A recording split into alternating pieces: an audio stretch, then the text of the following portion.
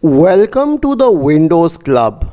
If you wish to fix black screen of death problems in your Windows computer, then either read through this article on the Windows Club or simply watch this video I'll guide you through the resolutions. The first solution is to check all of your connections. The reason is that this is what a black screen looks like. When you move the cursor, you would, would be able to see the cursor.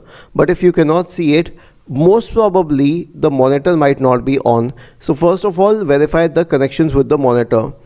The next solution is to try to wake up the device. Press the windows key plus control plus shift plus b. All these four keys together it will wake up your computer. However if you're in tablet mode try pressing the volume up and volume down buttons three times the next solution would be to first of all reboot your system in the safe mode which has been explained over a separate article and video and then if it works then check for the default display device. To do so press the Windows key and the P button together. It will open a little window in the right corner and check if it is selected at PC screen only or some other screen.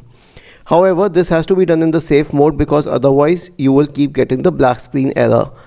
After this, if everything else fails, then you can consider reinstalling the device drivers for graphics.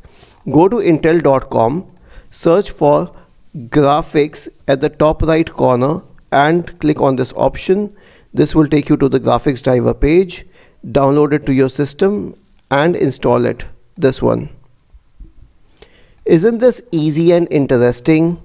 If you have any doubts, please go to the original article on the Windows Club Scroll down to the comment section and write your query. We will surely answer to it. Do not forget to subscribe to the channel. Thank you for watching this video and have a nice day.